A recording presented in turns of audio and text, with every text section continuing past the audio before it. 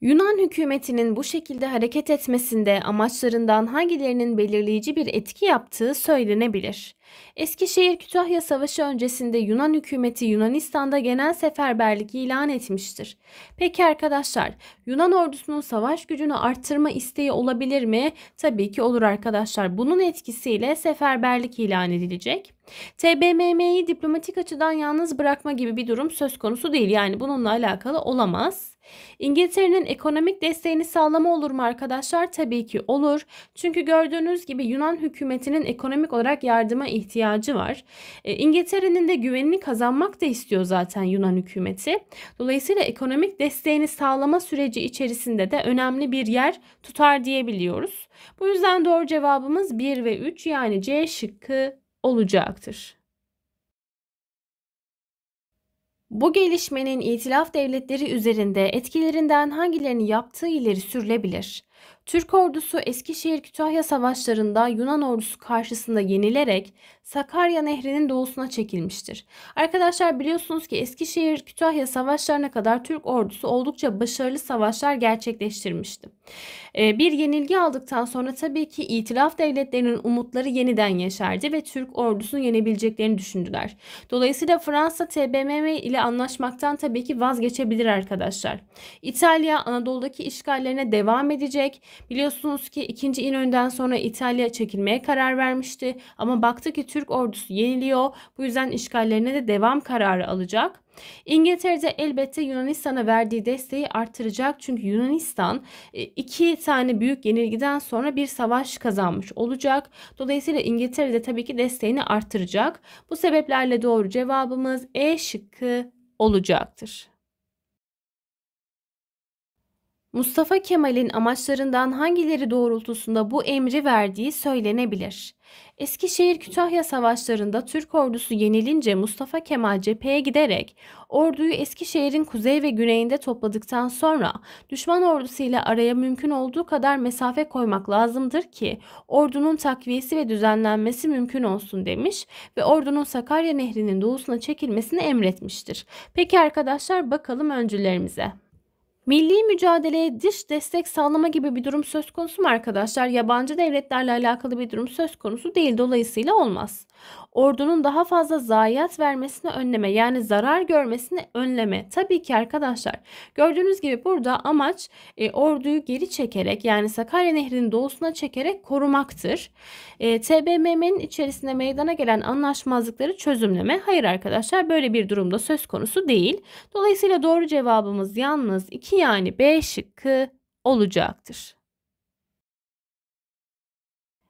Buna göre Mustafa Kemal hakkında aşağıdaki yorumlardan hangisi yapılabilir? Mustafa Kemal ordunun ihtiyaçlarını halktan temin edebilmek için tekalifi milli emirlerini yayımlamış ve bu emirlerin uygulanmasında yaşanabilecek aksaklıkları giderebilmek için istiklal mahkemelerini görevlendirmiştir. Peki arkadaşlar bakalım şıklarımıza. Yasama ve yargı güçlerini kullanarak ordunun savaş gücünü artırmaya çalışmıştır diyebilir miyiz? Gördüğünüz gibi bir emir çıkarılmış arkadaşlar. Burada bir yasama gücü var ve mahkemeler söz konusu. Burada da bir yargı gücü var. Dolayısıyla A şıkkı tabii ki doğru olur. Bakalım diğer seçeneklerimize de. Türk milleti arasında birlik ve beraberliğin korunmasına öncelik vermiştir. Yukarıda bahsedilen durum bu değildir arkadaşlar. Mecliste düzenli orduya karşı oluşan muhalefeti etkisiz hale getirmiştir. Yukarıda da bunun hakkında hiçbir bilgi de verilmemiş. E, Kuvayi Milliye'nin bağımsızlığın kazanılmasına yetersiz olduğuna inanmıştır. Böyle bir durumdan da bahsedilmemiş. Halkın istek ve görüşleri doğrultusunda hareket etmeye önem vermiştir. Evet arkadaşlar doğru bir bilgi ama yukarıdan bunu çıkarmamız mümkün değil. Dolayısıyla doğru cevabımız A şıkkı olacaktır.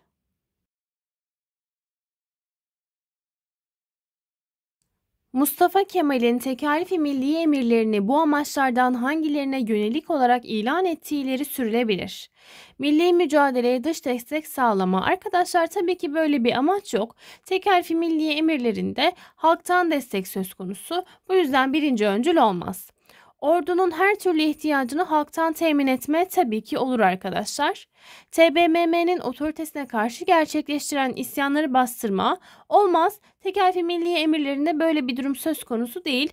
O, burada yapılan tek şey ordunun ihtiyaçlarını karşılamaktır. İsyanları bastıracak bir durum söz konusu değildir. Bu yüzden doğru cevabımız yalnız 2 yani B şıkkı olacaktır.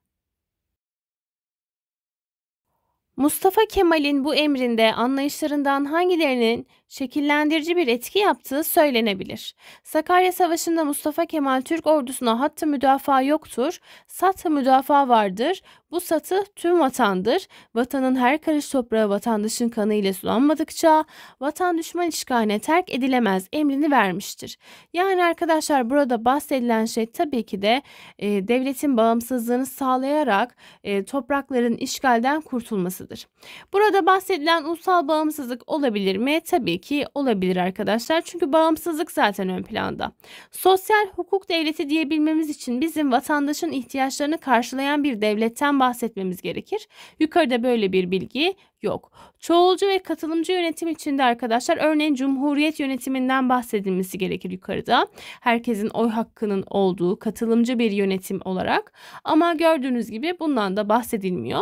Bu yüzden doğru cevabımız yalnız bir yani A şıkkı olacaktır.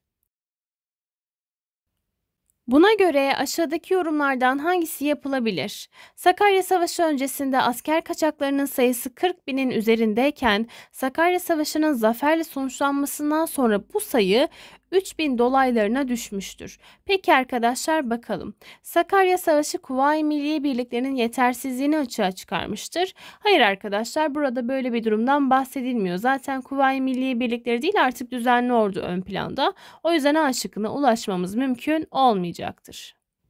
İstiklal mahkemelerinin çalışmalarıyla ordunun asker ihtiyacı karşılanmıştır. Arkadaşlar istiklal mahkemeleri daha çok isyancılarla ilgilenen bir mahkeme. Dolayısıyla B şıkkı da olmaz.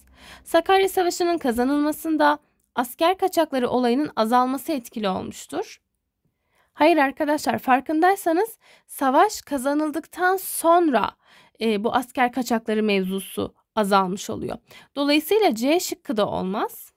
Askeri başarılar düzenli orduya güveni ve katılımı artırmış mı? Tabii ki artırmış. Bakın zaferle sonuçlandıktan sonra gördüğünüz gibi insanlar demek ki düzenli orduya katılmaya başlıyor. Bu da tabii ki e, kaçak asker sayısını azaltır. Meclis diplomatik çalışmalara ağırlık ve önem vermiştir. Bundan da bahsedilmiyor zaten. Dolayısıyla doğru cevabımız D şıkkı olacaktır. Bu durum aşağıdakilerden hangisinin bir göstergesidir? Sakarya Meydan Muharebesi'nde Yunan ordusunun taarruz gücü kırılmış ve bu savaştan sonra Yunan ordusu Afyon ve Eskişehir'in doğusuna çekilerek savunma hatları oluşturmuştur. Peki arkadaşlar bakalım. Sakarya Savaşı'nın kazanılmasının uluslararası alanda etkinliği artırdığının hayır arkadaşlar yukarıda bahsedilen bu durum değildir. Yunan ordusunun Anadolu'daki işgallerine Sakarya Savaşı'ya son verildiğinin son verilmiyor tabii ki sadece e, ordular geriye çekilmiş arkadaşlar. TBMM'nin Sakarya Savaşı'nın etkisiyle ülkedeki hakimiyetini arttırdığının, burada meclisin e, bir hakimiyet arttırdığına dair e, bilgi verilmemiş arkadaşlar. O yüzden olmaz. Sakarya Zaferi'nin savaşın dengesinin Türk ordusu lehine değişmesine yol açtığının tabii ki söyleyebiliriz arkadaşlar. Çünkü gördüğünüz gibi Yunan ordusu e, taarruz yaparken savunmaya başlıyor. Taarruz gücü kırılmış gördüğünüz gibi. Yani Sakarya zaferi aslında Türk ordusunun taarruz gücüne ulaşmasını sağlayacaktır arkadaşlar. Dolayısıyla da bu durum tabii ki Türk ordusunun lehine olacaktır. Türk ordusunun zafer kazanmasının itilaf devletleri arasında görüş ayrılıklarına yol açtığının yukarıda zaten bundan da bahsedilmiyor. Bu sebeplerle doğru cevabımız D şıkkı olacaktır. Mustafa Kemal'in Sakarya Savaşı'ndaki faaliyetlerinden hangileri muharebe esnasında savaş taktiğinde değişiklik yaptığını gösterir? Orduyu başkomutan olarak bizzat kendisini komuta etmesi. Arkadaşlar bu bir savaş taktiği değildir. Dolayısıyla birinci öncül olmaz. Ordunun ihtiyaçlarının karşılanmasına yönelik tedbirler alması. Bu da bir savaş taktiği değil arkadaşlar. Savaş taktiği dediğimiz şey savaş içerisinde izlenen yolun değiştirilmesi ya da izlenen yolun geliştirilmesidir. Dolayısıyla ikinci öncül de olmaz. Orduya hattı müdafaa yoktur, sattı müdafaa vardır emrini vermesi ise bir savaş taktiğidir. Çünkü arkadaşlar hattı müdafaa yapılırken sadece e, askerler kendi hattını korumaktan sorumluydu. Ama sat müdafaa deyince o satıhın bütün vatan olduğunu belirterek bütün vatanı korumalıyız ve askerden yani düşman askerinden kurtarmalıyız düşüncesi ön planda olacak. Bu da savaş taktiğinde bir değişiklik olduğunu gösterir. Çünkü öncesinde sadece hattı müdafaa vardı. Bu yüzden doğru cevabımız yalnız 3 yani C şıkkı olacaktır. Bu bilgiler doğrultusunda Yunan ordusunun savaş türlerinden hangilerinde dezavantajlı duruma düştüğü ileri sürülebilir. Sakarya Savaşı'nda Yunan ordusunun kayıplarının açıklanması, Yunan askerleri arasında Anadolu'da boşu boşuna savaşıp öldükleri düşüncesinin oluşmasına ortam hazırlamıştır. Yani arkadaşlar şöyle düşünebilirsiniz. Bir şey için uğraşıyorsunuz ve sonucunda bir şey elde edemiyorsunuz. Dolayısıyla Yunan askerleri tabii ki psikolojik olarak problemler yaşamaya başlamışlar. Psikolojik savaşlarda dezavantajlı duruma düşmüşler diyebiliriz. Ordunun düzensiz olmasıyla alakalı bir bilgi yok arkadaşlar. Teknolojik e, olmasıyla alakalı da bir bilgi yok. Dolayısıyla burada bahsedilen şey psikolojik durum olduğundan dolayı doğru cevabımız B şıkkı olacaktır. Buna göre TBMM hükümetinin askeri başarılarının etkisiyle hedeflerinden hangilerini gerçekleştirmede önemli adımlar attığı söylenebilir. Sakarya Savaşı'ndan sonra TBMM hükümeti Fransa ile Ankara, Sovyet Rusya ile Kars, Ukrayna ile dostluk anlaşmaları imzalamıştır. Peki arkadaşlar bakalım. Misak-ı milli esaslarını hayata geçirme. Arkadaşlar bu anlaşmaları imzalayan devletler aslında misak-ı milli kararlarını da kabul ediyorlar. Yani Türkiye Büyük Millet Meclisi'nin oluşturmuş olduğu misak-ı milli kararlarını da onaylamış oluyorlar. Dolayısıyla tabii ki birinci öncül olur. Türk yurdunun bölünmez bütünlüğünü koruma. Tabii ki arkadaşlar diplomasi hareketleriyle yaptığı dostluk anlaşmalarıyla bunu da ortaya koyabilir. Türkiye'nin varlığını resmen ve hukuken kabul ettirme. Zaten masaya oturup bir anlaşma yapılıyorsa varlığı resmen ve hukuken kabul edilmiştir. Bu yüzden doğru cevabımız E şıkkı olacaktır. Kurtuluş Savaşı sürecinde yaşanan olaylarının sebep sonuç ilişkisi bakımından sıralanışının aşağıdakilerden hangisinde doğru olarak verildiği söylenebilir. Arkadaşlar öncelikle Sakarya Savaşı kazanılıyor. Sakarya zaferinin elde edilmesinin ardından Fransa ile bir anlaşma imzalanıyor. Bu da Ankara Anlaşması oluyor. Ankara Anlaşması'nın imzalanmasıyla birlikte Fransa ile mücadele edilen Güney cephesi de kapanmış olacak arkadaşlar.